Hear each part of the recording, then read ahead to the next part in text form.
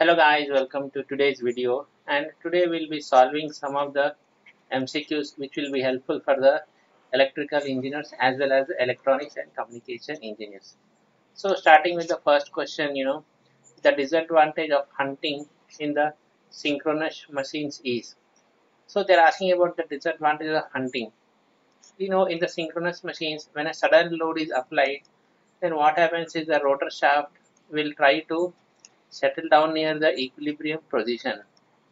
So during this course what happens is there will be a lot of stress on this rotor shaft. So that is what is hunting is all about. So if among the options the third option is correct which says it causes a large mechanic mechanical stress and fatigue in the rotor shaft. Okay. Next. Which of the following faults following faults occur more frequently in a power system. So they are talking about more frequently. You know, in a power system, like if there's a line, then what happens is, even if you have seen in, in our uh, streets and in, in our uh, homes, most of the time what happens is the power line, sometimes if one of them is grounded, then that is one of the common faults. And other is what happens is if one of the line comes in contact with the neutral, then in that case also the fault will happen. So this is the most uh, frequently faults that are seen in a power system. This can happen because of the high winds or the trees falling on the power lines and all. So th these are known as single line to ground faults as these are the line is going to the ground. Okay, so this is the correct answer. Next which one of the following is not required for a power diode? We all know the basic diode is basically a conversion of AC to DC. So it is basically a rectifier. And then the power diode is used for high voltages and high currents. Okay. So in that case what happens is if we see the following options. So diodes are semiconductor devices so they are very high speed. So this is one of the operations other is since they have to switch on and switch off. So in that case the recovery time should be small. Which is okay. And then the voltage drop across the diode also has to be less. So this is also one of the features. So among these three are the correct option and then we don't need the fast communication. So here which is not required means fast communication is the correct answer. Next a magnetic field applied perpendicular to the direction of the motion of a charged particle. So charged particle, assume it as a charge q, exerts a force on a particle perpendicular to both the magnetic field. So magnetic field is there and this force acts in the direction perpendicular to the direction of motion of the particle. So here it says about the where force is applied when a charged particle is moving. So this is basically the application of the Hall effect. We know in the case of a semiconductor, there are many applications of the Hall effect. This is used to know the type of the diode, P or N diode, or the direction of the diode. So this is a basic definition of the Hall effect. So among the options, Hall effect is the correct answer. Next which one of the following class of computers in relationship between is a relationship between the architecture and organization very close? You know the basic simple computer which we use in our homes they have a cpu they have a memory unit and then they have a io unit. So these are some of the basic units which you find in a very simple computer. And in this organize in this the architecture is very simple so among these options, these computers are also known as microcomputers, which are like desktops and PCs. So among these options, microcomputers is the correct answer. Whereas other computers like mainframe computers, supercomputers, these are very high-end computers and their architecture is very complex. Okay, next. The central processing unit consists of so CPU, you know, in a modern processors, if you see, it consists of ALU, which is arithmetic logical unit to carry out the mathematical operations, a control unit to decide where the data should go, and the registers in which the data is stored and on which the ALU operations are performed, So registers are needed. And also internal bus is needed in most of the latest CPU if you know there is an inbuilt cache like L1 and L2 levels. So in this case there will be an internal bus also. So these are all the components of a CPU. So the correct answer is the option 4 which is the ALU control unit registers as well as the internal bus. Next, if the voltage across an element in a circuit is linearly proportional to the current through it. So what they are saying is voltage is proportional to the linearly proportional to the current. So we know that V is equal to IR where R is fixed. So in that case V is proportional to I. So this is the basic property of a resistor. So among the options resistor is the correct answer. Okay. Next. A cache has a 64 bit cache lines. Then how long does it take to fetch a cache line if the main memory takes 20 cycles to respond to each memory request and returns 2 bytes of data in response to each request. So what happens is a main memory and cache is there. So when these are interacting and then how much time it is taking here, here it is given as the total cache line length is 64 bytes and then it has also given as the 20 cycles are being taken to fetch 2 bytes okay so now we need to fetch 64 bytes so for each byte how many cycles? So to so that means the number of cycles that are needed to fetch the 64 bytes is nothing but 64 by 2 which is equal to 32 so 32 bytes so 32 cycles 30 times it needs. So that means 20 cycles into 32 so which is equal to 640 cycles.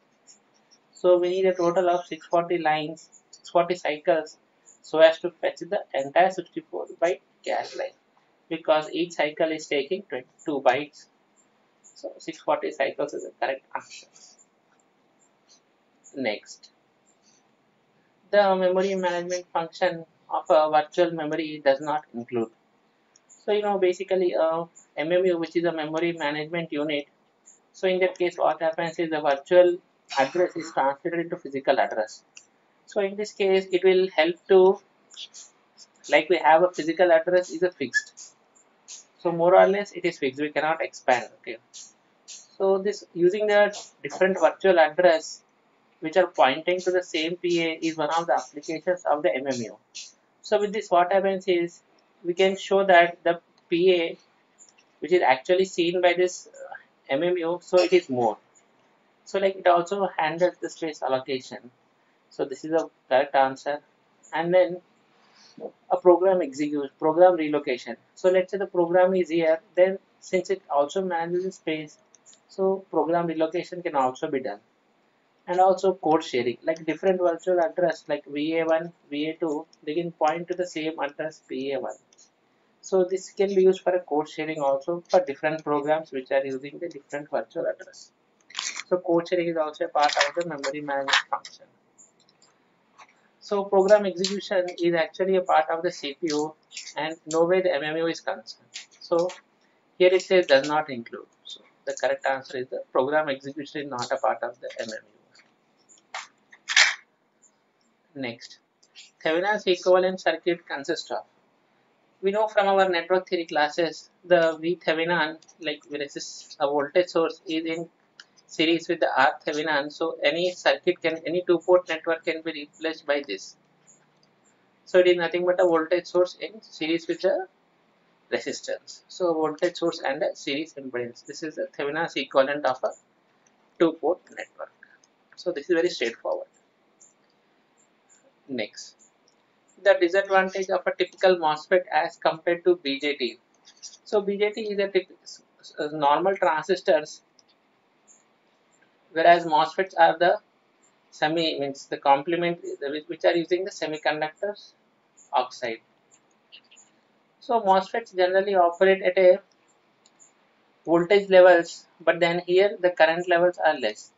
So in this case what happens is the handling capacity of MOSFET is very less, power handling is less. They are used for a small power handling cases. So the correct answer is the reduced power handling levels. Next, a network which is a two port network so delivers a maximum power to the load resistance. So it is saying the maximum power is delivered when the load resistance which is RL should be equal to what? We know from the two port network like the if the load resistance is equivalent to the Thevenin's resistance then in that case the power maximum delivered is high. So from the options equal to the Thevenin's resistance of the network so this is the correct answer. This is from the maximum power transfer theorem and which is also straightforward. Next, for RC phase shift oscillator using the FET, the gain of the amplifier stage must practically be somewhere greater than between. If you remember the for RC phase shift, the gain of the oscillator should be equal to the 29. This is from the basic definitions when we try to solve this RC phase shift equation. So the correct answer is the 29. Okay, just remember this. This is a fixed value. Next, when a number of two port when a number of two port networks are cascaded. So here it is saying, let's say this is a two port network. Let's say N1 and then N2, and if these are cascaded, then in this case what happens is then they are saying which of these parameters are added like z parameters h parameter y parameter abcd whenever the two port networks are cascaded then you know the abcd which are the transmission parameters so they are normally multiplied.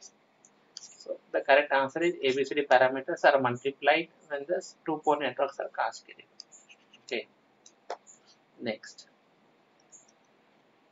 In a microprocessor interface so in a microprocessor, what they're saying is the concept of detecting some error condition as uh, an example of no match found. So what happens is in microprocessor, whenever an error condition or a fault condition occurs, then what happens is the program execution will directly go to the trap and then this fault will be recorded. So this trapping is nothing but the trapping the error conditions. So the option, so from the above options, error trapping is the correct answer. Next. When an information signal is multiplied by the auxiliary sinusoidal signal to translate its frequency, the modulation is known as. So let's say there is a information signal which is let's say AM and then auxiliary sinusoidal signal which is let's say carrier and when these, these two are multiplied then let's say this is am sine omega mt and then this is ac sine omega ct so when these two are multiplied of course the two frequencies will be generated wm plus wc and wm minus wc so this is nothing but a product modulator. And the product modulator or the balanced modulator is a type of the amplitude modulation. So this we know. So the correct answer is the amplitude modulation. Next the direction of the net encirclements of the origin of the real imaginary plane. So this is a Nyquist plot. When the real and the imaginary are there, then in a Nyquist plot, then for the system to be stable. Then in this case, we know from the what Nyquist says is it has to be the number of times the counterclockwise direction this origin has to be encircled. So which is the correct answer, counterclockwise of the origin. Okay. So this is coming from the definition. Next, a transfer function of a discrete time system derived from a state model is given by. So this is also a straightforward definition or the formula you can C where the transfer function is nothing but the say into